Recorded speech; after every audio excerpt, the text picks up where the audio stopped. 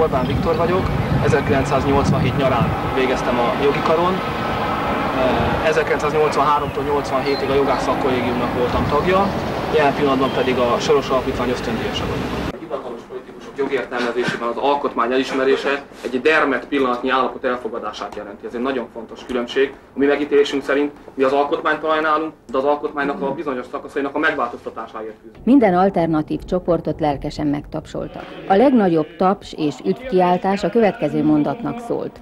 Független, demokratikus, magyar köztársaságot. Ha hiszünk a magunk erejében, képesek vagyunk véget vetni a kommunista diktatúrának, ha elég eltökéltek vagyunk, rászoríthatjuk az uralkodó pártot, hogy alávesse magát a szabad választásoknak,